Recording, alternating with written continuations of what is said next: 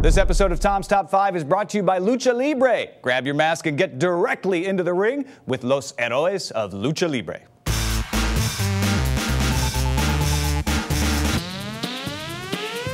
Welcome to Tom's Top 5. It's the end of another month and time to look at Gadgets Want Lists as created by you, the GDGT.com website user type person.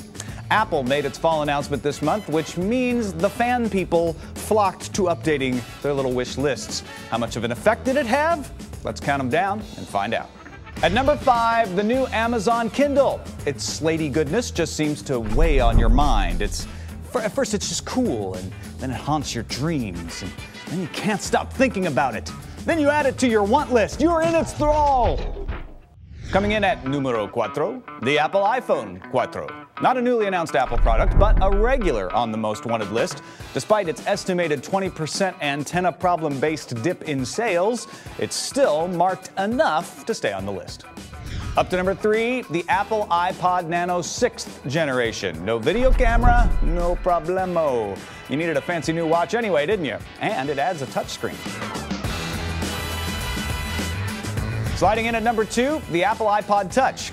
Almost underwhelming when it was announced because it had everything everybody expected, like a front facing camera, iOS 4, FaceTime, all that stuff, but still more popular than its cousin, the phone, this month. Before we get to number one, time for a stupid question. And we need to make it easy, otherwise, Ice Iceworm's going to win a dozen of these things. So come on, give him some competition. Here's the question Who is the CEO of Apple?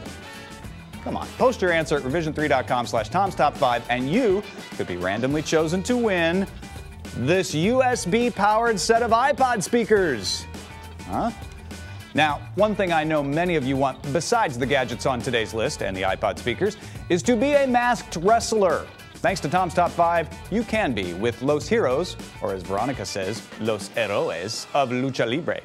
Heroes del Ring delivers an authentic bilingual gaming experience that mimics move for move the brute strength and gravity defying acrobatics of real life Lucha Libre. I mean, seriously, you can create your own luchador identity, customize outfits and masks, make up tattoos, even invent your own moves. There's a whole lot more too, so follow the game on Facebook, that's facebook.com slash AAA Heroes, or on Twitter at AAA Heroes for news and video updates. And pre-order by October 12th, and you'll receive an authentic AAA licensed lucha mask. Who doesn't want their own wrestling mask? It's like an extra top five prize for everyone, so pre order now because it's not just wrestling, it's Lucha Libre. All right, let's get to our number one, the most wanted product for September, the one you lusted your little hearts out for. At number one, it's the new Apple TV. It looks like a hockey puck, plays TV shows from the internet or any computer you have on your home network, and the rumors about its iOS underpinnings and what it might someday do are unending, it seems. But its smallness and videoness has certainly tapped into important trends in consumer slobber inducingness. Thanks to Amazon, though, we didn't have an Apple sweep.